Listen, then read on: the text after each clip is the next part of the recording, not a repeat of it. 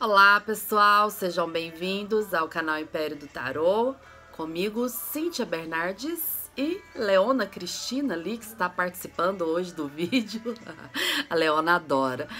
Então pessoal, é, esse mês de julho né, eu deixei avisado que eu não faria as previsões diárias porque eu vou fazer uma viagem, vai ser uma viagem demorada, vai, vai ser 20, 25 dias aí, tá?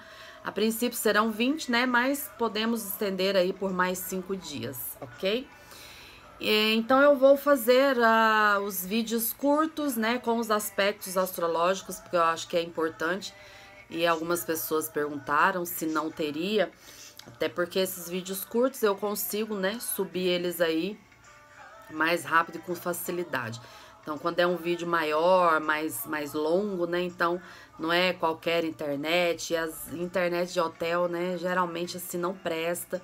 E a do celular também, quando a gente tá fora, principalmente, né? É uma canseira.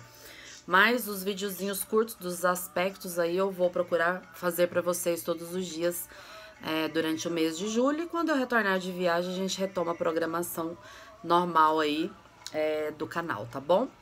Então vamos lá para o dia 1 de julho de 2019, segunda-feira, hum, semana poderosa. Então, segunda-feira, ainda com a lua minguante, entra no signo de Câncer às 22 horas e 24 minutos. É isso aí. Enquanto a lua estiver em Câncer, nós ficamos aí muito emotivos envolvidos com as pessoas e com as situações. Então, gente, aguarda uma semana aí de muitas emoções, né? Entre esse eclipse de terça-feira, dia 2, e o outro eclipse que vai acontecer no dia 16 de julho, uau, muita coisa aí incrível pode acontecer. E com essa lua em câncer, né, nós teremos uma lunação em câncer, o sol está em câncer, então é tudo muito muita sensibilidade, muita emoção, né? E a gente pode ficar bem mais envolvido. Então é muito fácil você às vezes se envolver num relacionamento, se envolver com a sua família, né, com as suas amizades, com o seu trabalho. Se apaixonar se torna também mais fácil, né? Eu acho isso legal. Então, assim, o lar, a mãe e a família vão ganhar um papel de destaque muito grande nessa lunação aí em câncer, principalmente nesse período, né? Até quarta-feira aí, quando essa lua estiver em câncer, tá? Então, figuras femininas, né? Elas têm muito.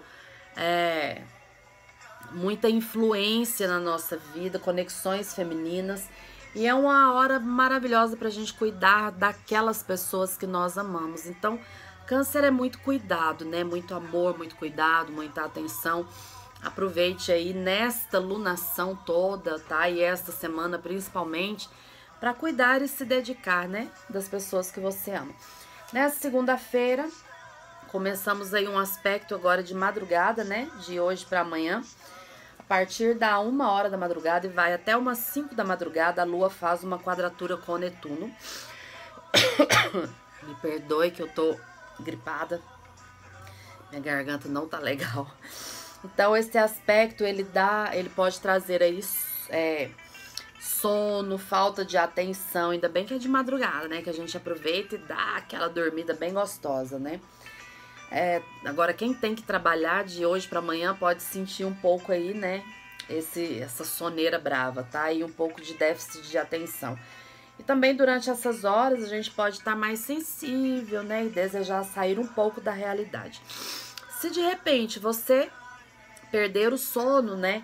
Então o legal é assim, liga a televisão e procura um filme bom e que passe uma mensagem legal para você, tá?